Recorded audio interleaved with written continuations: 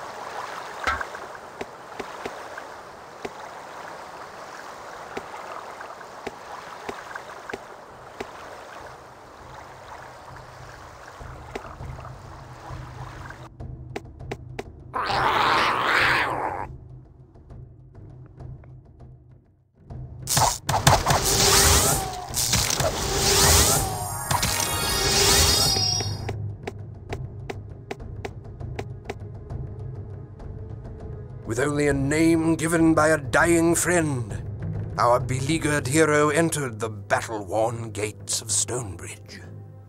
Who could know then that the arrival of one humble farmer from the fields would change the very course of the kingdom?